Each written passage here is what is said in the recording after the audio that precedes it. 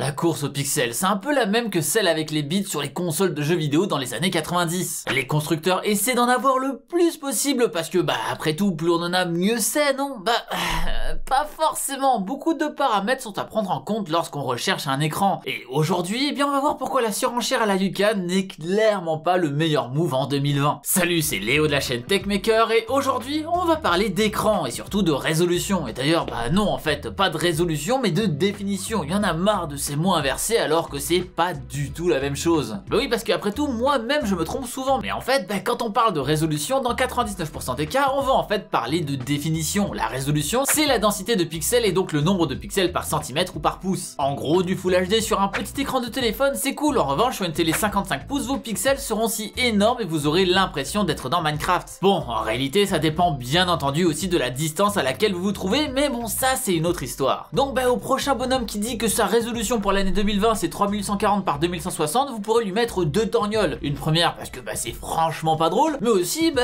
parce que c'est en plus totalement faux. Bref. Actuellement, entre le CES qui vient de se terminer, et ses télés géants dans tous les sens, et surtout la fameuse PS5 qui va pouvoir lire du contenu 8K, tout le monde est en train de péter un câble en se disant que c'est the next big thing dans lequel il faut investir. Sauf qu'en fait, bah rien que la 4K aujourd'hui est extrêmement sous-exploitée, malgré la pléthore d'écrans de moins en moins chers qu'on trouve sur nos contrées. Et pourtant, bah la 4K c'était aussi un truc de riche il y a de cela à peine 5 ans. Alors déjà, histoire de casser le truc tout de suite, oui on sait, la 4K et la 8K des écrans ne sont pas en fait vraiment de la 4K et de la 8K. On va parler de 4K UHD pour Ultra HD et 8K UHD pour Ultra HD. Ouais, avant on arrivait à rajouter un petit truc devant le HD qui correspond à la 720p et Full HD avec la 1080p, ou encore QHD pour Quad HD, mais actuellement la 8K n'a pas sa lettre d'HD. Après, bon, à force, on allait se retrouver avec de l'Ultra Dynamax Super HD Knuckles. Et donc, bah, peut-être que c'est finalement le bon moment d'arrêter de rajouter une lettre devant le HD. On va donc se retrouver avec des images de 7680 par 4320 pixels, bon dieu. Et donc, bah, trop chouette si nos télé affichent ça. Oh, ça va être trop bien de regarder Touche pas où on poste en qualité de fou furieux.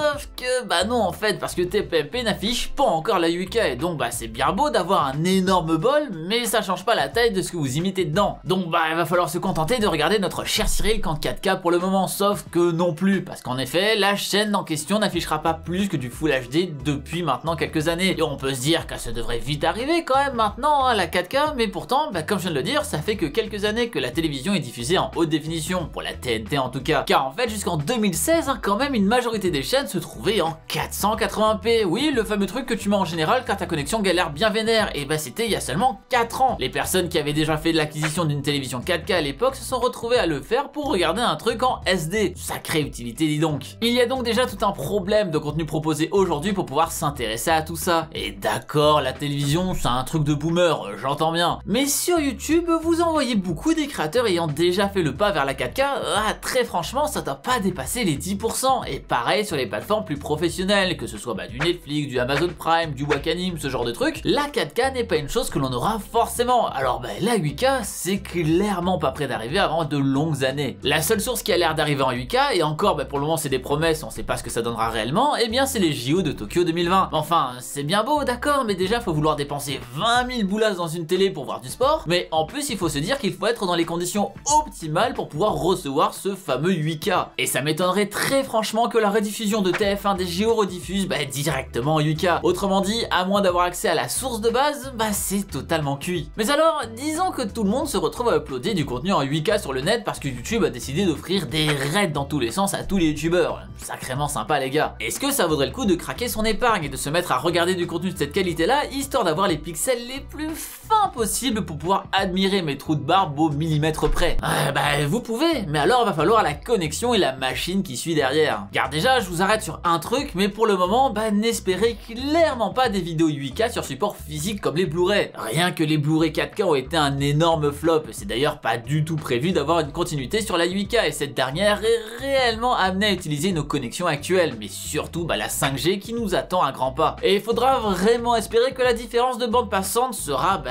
réellement vénère. C'est clair que c'est pas avec la DSL de chez Mamie que vous allez charger ça demain. Parce que oui, qui dit plus de pixels à vous envoyer à la tronche dit aussi plus de données, donc un plus grand besoin de de bande passante pour pouvoir vous envoyer tout ça. Autrement dit, déjà la 4K sans la fibre, bah c'est très compliqué, mais ne rêvez pas une seule seconde pouvoir streamer de la 8K sans ça. Et il faudrait une bonne fibre des familles. Si on regarde sur Netflix et ses recommandations, il faut déjà 25 mégabits par seconde pour de la 4K UHD. Alors même si 4 fois plus de pixels que la 4K ne veut pas dire forcément 4 fois plus de données envoyées, merci à la compression d'ailleurs, faut quand même pas rêver. Et ça ne m'étonnerait pas que le jour où Netflix adoptera la 8K, il conseille une connexion autour des 50 mégabits seconde au grand minimum. Et aussi, bah, la machine qui va avec, parce que certes, cela reste du streaming et donc tout se passe en cloud. Mais enfin, bah, pas vraiment. Finalement, c'est presque tout. En effet, pour lire ces dites vidéos, vous récoltez ces données de manière temporaire sur votre machine. Et plus il y a de pixels, bah, plus il y aura un besoin de stockage et donc aussi d'une vitesse de stockage plus élevée, histoire que ce soit fluide un maximum. Et vous pouvez facilement vous en rendre compte que c'est pas à la portée de n'importe quelle machine venue, que ce soit un ordinateur ou une télévision finalement. Et ça, ça peut se voir très vite en essayant de mettre n'importe quelle vidéo en 8K et encore pire si elle est en 60 fps. Vous pouvez faire le test sur cette vidéo d'ailleurs, hein, qui est de son côté en 4K 60. Ressortez le vieux PC de votre grand-mère, partez sur cette qualité et admirez le magnifique diaporama que vous allez vous taper si bah, justement la machine est un petit peu vieille. Et donc, ben,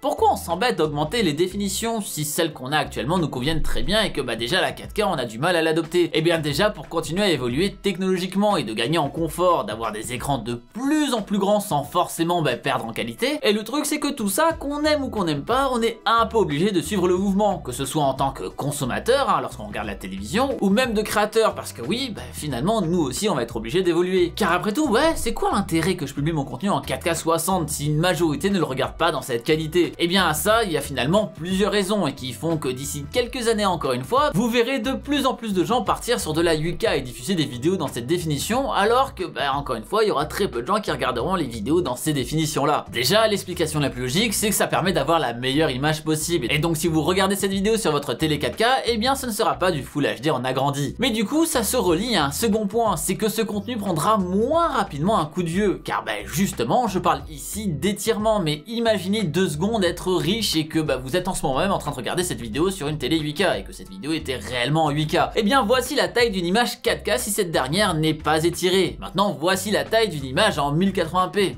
ça va vous là-bas? On se rend rapidement compte de l'énorme différence et que votre télévision ne va pas vous afficher l'image en petit, hein. normalement ça se passe pas comme ça, mais plutôt agrandir l'image pour arriver jusqu'au bord. Et donc voilà à quoi ressemblerait une image en 1080p étirée sur une télé 8K. Ouais, on se croirait sur Canal+. Bon je suis un peu de mauvaise foi parce que ça sera clairement pas aussi abusé vu qu'il y aura toujours des algorithmes pour essayer de faire cache-misère, mais justement, c'est cache-misère. Et en soi, vous connaissez un peu le même délire hein, lorsque vous retrouvez une vieille vidéo de 2005 en 240p. Ça pique sacrément les yeux une fois en plein écran alors qu'à l'époque on s'en rendait pas vraiment compte. Bah pour les gens du futur, ça sera pareil sur cette vidéo possiblement si elle était en Full HD. Et ça le sera aussi vu qu'elle est en 4K mais dans un futur un peu plus lointain. Car encore une fois, à l'époque on n'avait pas l'impression que t'étais si crade hein, ce 240p. Sauf qu'aujourd'hui c'est devenu un vestige du passé. Et tout ça relie aussi à un autre point, bah c'est que YouTube et même Internet de manière plus générale veut évoluer pour ne justement pas devenir un vestige. Et mettra un peu plus en avant du contenu avec une meilleure qualité. C'est pour ça d'ailleurs que vous verrez toujours une pastille 4K à côté des vidéos qui possèdent cette définition de nos jours. Et nul doute que dans le futur, la pastille pour la 8K arrivera. Parce que sur les vidéos 8K, il n'y a pas cette pastille 8K pour le moment. Et justement, parlons-en. Je viens de beaucoup décrier tout ça, mais est-ce que ça sert réellement absolument à rien dès aujourd'hui? Bah non, en fait, si on crée des technologies, en général, c'est pour justement faire en sorte d'évoluer. Et c'est l'évolution logique des définitions. Sauf qu'encore une fois, bah c'est trop tôt pour le grand public, car tout le monde va être le premier sur la 8K, un peu comme les téléphones pliables un peu bancals qu'on a vu l'année dernière. Mais ne vous précipitez pas là-dessus, parce que même si votre PS5 pourra lire du contenu 8K, bah, il faudrait déjà qu'il existe ce dernier, hein, ce fameux contenu 8K. Par contre, cette vidéo est aussi là pour mettre en avant le fait que la 4K avait tellement été considérée comme de niche à l'époque que son évolution reste compliquée de nos jours malgré bah, la facilité de se procurer un écran 4K depuis ces dernières années. Et je trouve ça dommage d'aller aussi vite sur des technologies plus hautes alors que celles d'avant ont encore du mal à rentrer dans tous les esprits. C'est un peu comme la VR, c'est arrivé trop tôt, et bah c'est un peu le même délire, c'est devenu une niche. Et pour autant, sans que vous le sachiez, mais cette 8K, bah, elle est utilisée depuis très longtemps et vous en regardez finalement des films faits avec parfois, même avec de la 12K dans certains cas. Ce qu'il faut savoir, c'est que les films sont souvent filmés avec des définitions extrêmement élevées, puis ensuite redescendus pour nous pauvres mortels. Mais grâce à ça, on peut avoir l'effet inverse de l'étirement, et donc soit de zoomer sur une partie de l'image sans perte de qualité finale, soit de mettre une image de meilleure qualité en plus petit, ce qui fait qu'on aura par exemple 4 pixels différents entassés au même endroit, dans le cas de la 8K vers la 4K, et donc cela permettra d'avoir encore une fois, grâce à des algorithmes, le meilleur de chacun de ces quatre mondes et d'avoir un meilleur pixel. C'est ce qu'on appelle aujourd'hui communément le downsampling. Et qui fait aussi qu'une vidéo en 4K downsamplée vers du Full HD sera de meilleure qualité qu'une vidéo tournée directement en Full HD, tout réglage similaire bien évidemment. Et bien là c'est pareil, il faut se dire qu'avant de vous l'avoir proposé en 4K, Netflix vous l'aura peut-être filmé en 8K et l'aura déjà downsamplé une première fois. Donc non, la 8K n'est pas non plus totalement inutile et elle sera probablement utile à de plus en plus de personnes au fil des années, mais pas avant au moins 2025 à mon très humble avis, et encore ce sera pour les plus de 10 000. Hein. En conclusion, oui, la 8K sera utile, un jour, mais pas avant très longtemps, et investir aujourd'hui là-dedans est clairement du gâchis au vu du contenu proposé et de nos appareils actuels, et encore une fois de nos connexions un peu aléatoires. Donc, très franchement, regardez plutôt sur le reste des caractéristiques pour choisir votre écran, que ce soit d'ordinateur ou de télévision finalement, parce que vous aurez un truc bien meilleur pour un prix bien plus faible. Et avant que les prix ne baissent sur les définitions plus hautes, préférez très partir sur justement tout ce qu'on peut proposer sur un écran et qu'on met trop souvent de côté, que ce soit bah, le HDR, la qualité de la dalle, les lumières d'ambiance, vos yeux seront bien plus heureux avec ça et votre banquier aussi. Et vous alors, vous regardez votre contenu en quelle qualité de manière générale? 720p, 1080p, 4K, 144p si vous habitez à la campagne? Eh bien dites-moi tout ça avec la fiche qui se trouve normalement en haut à droite de votre écran, histoire de voir si le plot de mes vidéos en 4K vaut le coup ou en fait pas trop. En tout cas, j'espère que cette vidéo vous aura plu. Si c'est le cas, comme d'habitude, n'oubliez pas le bon pouce bleu de l'amour en dessous de cette vidéo et à venir faire un petit tour sur mes réseaux sociaux. N'hésitez pas non plus à partager cette vidéo un maximum pour éviter à certaines personnes de cramer tout l'héritage de papy dans une télé 8K. Et bien sûr, si ce n'est pas déjà fait, abonnez-vous à la chaîne en cliquant sur le logo qui vient d'apparaître juste là. C'était Léo la chaîne Techmaker et surtout, n'arrêtez jamais d'apprendre. Salut